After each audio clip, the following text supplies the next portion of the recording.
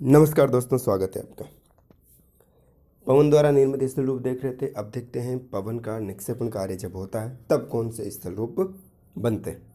आपसे निवेदन, इस चैनल को सब्सक्राइब करें, दीजिए अपना प्यार, वीडियो को लाइक करें, कमेंट करें, शेयर करें।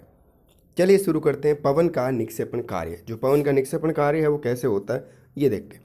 जब पवन की गति धीमी हो जाती है, जब पवन की गति धीमी हो जाती है तो अपने साथ उड़ा कर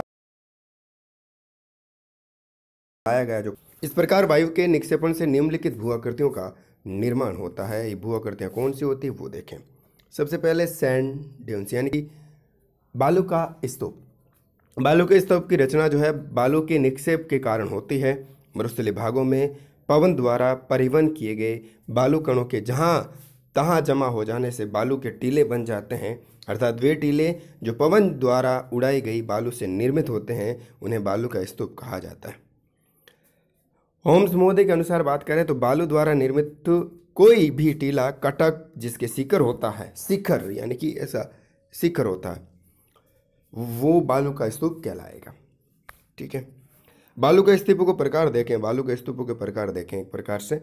तो बालू का स्तूप अपने आकार में बड़े ही विचित्र होते हैं और आकृति का अनुसार देखा जाए तो बालू का स्तूपों को निम्न भागों में विभाजित किया जा सकता है। कौन कौन से? देखें, समांतर बालू का स्तूप। समानांतर जो है समांतर बालू का स्तूप देखें। हम्म? इनको देखें तो इन स्तूपों की रचना बालू की अधिकता वाले क्षेत्रों में होती है। जहाँ बालू अधिक होगी, वहाँ होगी। ये वायु की प्रवाह की दिशा के अनुसार समांतर रूप में बनते हैं। जैसे जैसे वायु की दिशा होगी, उसी के समानांतर बनेंगे। उसी के समानांतर बनेंगे, ठीक है ना? इनकी आकृति लंबी पहाड़ी की तरह होती है। जो लंबी पहाड़ी होती है, उस तरह की इनकी आकृति होती है। मरुस्थलीय क्षेत्रों में कई किलोमीटर की लंबाई में फैली हुई होती हैं। इस प्रकार के स्तूप लीबिया के, देखिए, लीबिया के थार मरुस्थल में पाई जाती है। पश्चिमी ऑस्ट्रेलिया के मरुस्थल में और सहारा के मरुस्थल में पाई जाती है। अब देखते हैं अनुप्रस्थ बालू का स्तूप अगला। अनुप्रस्थ बालू का स्तूप। जब लंबे समय तक हवा एक ही दिशा की ओर चलती है, जब लंबे समय तक हवा जो है एक ही दिशा की ओर चलती है तो जैसे कि ये अनुप्रस्थ हो गए, ये अनुप्रस्थ है इस प्रकार से। एक की दिशा में हवा चल रही है, ठीक है ना? तो कटाव से जो है इस प्रकार की आकृति बनती है। तो अनुप्रस्थ वाले को स्तूप का निर्माण होता है निर्माण होता है। ये वायु के चलने की दिशा के लंबत रूप में पाए जाते हैं। इन स्तूपों की आकृति जो है, आकृति अर्धचंद्राकार होती है। अर्धचंद्राकार, आधे चाँद की तरह होते हैं। देखिएगा, अर्धचंद्राकार इनकी आकृति होती है, इस इस तरीके का, ठीक है? इस तरीके के बालू के स्तूप बनते हैं। ये हवा इस इस तरीके से जाती है, अप्रदित करती हुई। तो जहाँ जहाँ इनमें रुकावट होती है या फिर जहाँ गति धीमी होती है तो इस प्रकार का रेत जमा हो, जो होने लगती है, इस प्रकार का जो आकृति बनती है यह अनुप्रस्थ बालू का स्तूप है। इन स्तूपों की आकृति अर्धचंद्राकार होती है, ऐसे स्तूपों की रचना जो है, गहरे बालू के प्रदेशों में वायु के धीमी गति के बहने से होती है। परावल्यक बालू का स्तूप पैरा बोली के सैंड ड्यून्स देखें तो जब बालू के साथ बारीक मिट्टी के कण मिल जाते हैं, जब बालू के साथ जब बारीक मिट्टी के कण मिल जाते हैं तो परावली एक बालू का स्तूप की रचना होती है। इन स्तूपों का ढाल पवन की दिशा के तरफ़ धीमा और दूसरी तरफ़ तेज होता है। जिन क्षेत्रों में पवन तेज गति से चलती हैं तो वहाँ, यहाँ की बालू को अपने साथ उड़ाकर अपने पवन, अपने बहने की गति के विपरीत दिशा में जमा कर देती है। तो परा वलिक बालू का स्तूप की रचना होती है। बरखान देखा जाए, बरखान बालू के अर्ध चंद्राकार टीलों को बरखान कहा जाता है। बालू के जो अर्ध चंद्राकार, जो टीले होते हैं, उनको बरखान कहा जाता है। इस प्रकार के स्तूप तुर्किस्तान में अधिक संख्या में। तुर्किस्तान, बरखान। ये स्तूप भी पवन की अनुप्रस्थ दिशा की ओर पाए जाते हैं। इन स्तूपों के किनारों पर, स्तूपों के किनारों पर जो बहुत कम पदार्थ जमा हुआ, पाया जाता है। जब इस जमे हुए पदार्थ को पवन अपने साथ उड़ाकर ले जाती है तो स्तूपों के सिंह के आकार की आकृति बन जाती है। बरकान स्तूपों के जो सिंह की आकृति है, वो बन जाती है, ठीक है? सिंह की तरह।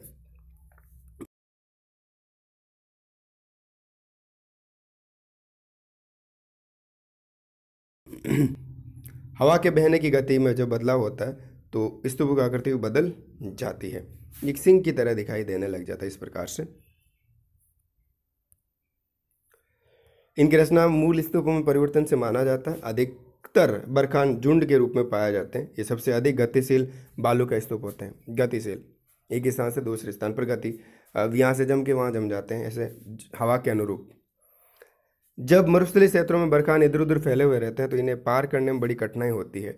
सारा के मरुस्थल में बरखानों के बीच में बने मार्ग को घासी कहते हैं। घासी जिन पर कारवा स्थायी रूप से चलते हैं। घासी घासी कहते हैं बरखानों के बीच में बने मार्ग को। अब देखते हैं लोयस क्या है। लोयस देखते हैं, लोयस लोयस। इनको रिचतोपन महोदय ने मरुस्थली क्षेत्रों में बालू की आंधिया कहा। लोयस क्या बालू की आंधिया कहा है, जब पवन तेज गति से चलती है तो अपने साथ बहुत सा रेत और छोटे छोटे बारीक कण उड़ा कर ले जाती याद रखना, ये बालू की आंधिया ही पूछेगा। ठीक है ना? शब्द यही देगा, बालू की आंधिया। या फिर सामने मिलान करने को कह दिया जाएगा, या फिर बालू की आंधिया कहा जाता है।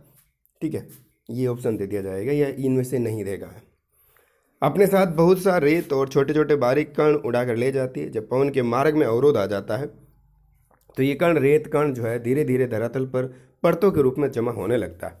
इस प्रकार बारीक कणों वाली मिट्टी का जमा हो जाता है। इस रेत का रंग पीला तथा हल्का भूरा होता है। इस प्रकार के लोइस के जमाव चीन में हांगो नदी के मैदानी क्षेत्रों, ऑस्ट्रेलिया तथा न्यूजीलैंड में पाए जाते हैं और लोइस का नामकरण फ्रांस के अर्शस प्रांत में लोयस नामक गाँव में लोयस सदृश मिट्टी के निक्षेप के आकार पर किया जाता है। यूरोप की लोयस जो है पवन कीर्तना होकर हिम नदी लोयस है। वहाँ हिम यानी कि जो पानी आता है हिम पिघल कर आता है उसके साथ जो पदार्थ बहा कर लाता है वो उस, उसी तरीके की है। यहाँ ये होता है। अब देखते हैं शुष्क क्षेत्रों में अप्रदन चक्र। शुष्क क्षेत्रों में अप्रदन चक्र को देखते हैं। सर्वप्रथम डेविस ने 1905 में, कब? डेविस ने 1905 में प्रदेशों में अप्रदन चक्र की संकल्पना प्रस्तुत की। शुष्क अप्रदन चक्र एवं पवन जल की सम्मिलित क्रियाओं का परिणाम होता है। ये क्या कहा है इसने कि शुष्क अप्रदन जो होता है ना, वो एक तो पवन चक्र होता है, पवन एवं जल की दोनों की जो है सम्मिलित क्रियाओं का परिणाम है। दोनों की क्रियाओं द्वारा ही होगा, ठीक है? ये चक्र निम्न तीन अवस्थाओं में होता है। अवस्थाएँ तीन बताई कौन कौन सी? सबसे पहले देखें यूथफुल स्टेज यानी कि तरुण अवस्था या फिर युवा अवस्था। इस अवस्था में अप्रदन एवं निक्षेप दोनों साथ साथ चलते हैं। अप्रदन भी होता है, निक्षेपण भी होता है, यानी अप्रदन कटाव भी होता रहता है और पदार्थ का जमाव भी होता रहता है। ऊँचे भागों के अप्रदित तथा निम्न भागों तथा बेसिनों के बढ़ने के कारण ऊँचा उच्च नीचे हो जाते हैं। पर्वत की तलहटी में जलोढ़ पंखों का निर्माण होता है।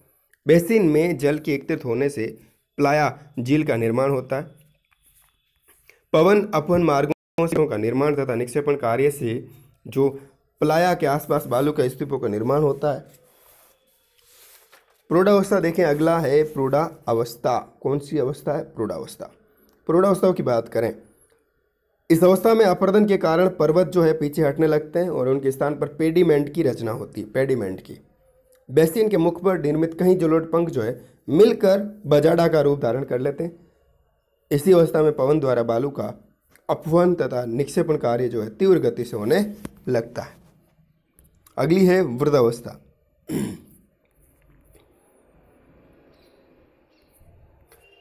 वृद्धावस्था देखें ओल्ड स्टेज इस अवस्था में ऊँचे भाग जो है, घिसकर समतल प्राय हो जाते हैं और कुछ अप्रदन रोधी सेलें अवशेष के रूप में, सामान्य सतह से ऊँची इंसेलबर्ग के रूप में रह जाती है और इस अवस्था में पवन का पवन का जो अपवन कार्य इतना प्रभावशाली हो जाता है कि समस्त रेगिस्तानी भाग संप्राय मैदान के रूप में परिवर्तित हो जाता है। पेडिमांड के विस्तार और कई पेडिमांड मिलकर, मिल जाने से जो एक मरु पेनी प्लेन बना देते हैं। का विकास होता है, जिस पर यत्र तत्र इंसेलबर्ग यानी मोन डनोग दिखाई देते हैं। अब देखें लासन। लासन ने शुष्क प्रदन चक्र की अंतिम अवस्था में उत्पन्न स्थूल रूप को पेन फ़ैन की संज्ञा दी। मैक्सन तथा एंडरसन ने पेडिमेंट को सम्मिलन, पेडिमेंट के सम्मिलन से उत्पन्न जलोड सत्य को पेडी प्लेन कहा। मैक्सन तथा एंडरसन ने जो पेडिमेंट के सम्मिलन से जो उत्पन्न है जलोड सत्य को क्या कहा? पेडी प्लेन कहा 1950 में। 1950 में किंग ने शुष्क प्रदेशों में अपर्दन से संबंधित जो है पेडिप्लेनेशन की विचारधारा, जो पेडिप्लेनेशन की चक्र की विचारधारा की प्रस्तुत की थी, किंग ने पेडिप्लेनेशन की विचारधारा अपर्दन से संबंधित शुष्क प्रदेशों में, ठीक है 1950 में। अब देखिए, शुष्क एवं अर्धशुष्क प्रदेशों में पवन एवं जल के कार्यों से निर्मित स्थल रूप, शुष्क एवं अर्धशुष्क दोनों में पवन और जल के साथ जो निर्मित होता है, तब देखते हैं। उत्कात भूमि देखें, उत्कात। अर्धशुष्क एवं शुष्क रेगिस्तानी भागों में जहाँ अवसादी सेलें सेलों के स्तर क्रमशः एक दूसरे के बाद होते हैं। वहाँ पर असामयिक वर्षा के जल से भरे जो गहरे गड्ढे या खादर बन जाते हैं। जल से गहरे गड्ढे होते हैं ना, गड्ढे, खादर बन जाते असामयिक वर्षा हो जाती है, जो कुछ गड्ढे होते हैं, ठीक है ना?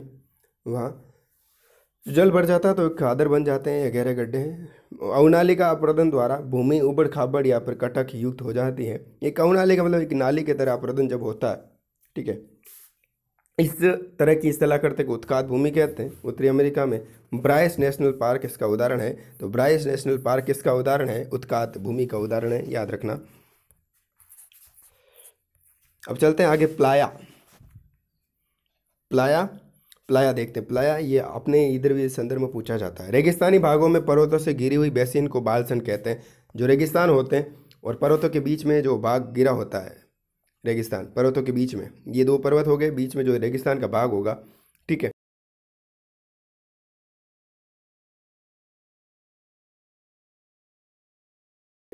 इसे प्लाया कहा जाता है। प्लाया में चमकीले नगम न, नमक के निक्षेप होने पर उसे अकाली फ्लेट तथा नमक वाला निक्षेप जो है सेलिना या फिर लवण कच्छ कहलाते हैं। प्लाया की तली सपाट उतली तथा विस्तृत होती है। अब देते अब देखते हैं बहादा या फिर बजाडा। अर्ध शुष्क प्रदेशों में कहीं आसन जलोट पंखों के सम्मेलन से निर्मित एक पीड मान जलोट मैदान को बजाडा या बहादा कहते हैं। ये प्राय अर्धशुष्क प्रदेशों में अंतस्थलीय बेसिन के किनारों पर या फिर किसी पर्वत श्रेणी के बाहरी निचले किनारों पर पाया जाता है। पेडीमांट पर्वतीय अग्रभाग तथा बजाडा के मध्य अप्रतिशील सतह वाले सामान्य ढाल वाले भाग को पेडीमंट कहते हैं। इनकी रचना अब से तथा नदी अपर्दन के द्वारा होती है। इन्हें निम्नकरणी मैदान, यानी कि डिग्रेशनल प्लेन भी कहते हैं। पर्वतीय अग्रभाग की ओर इनका डाल तीव्र तथा बजाडा की ओर मंद होता है।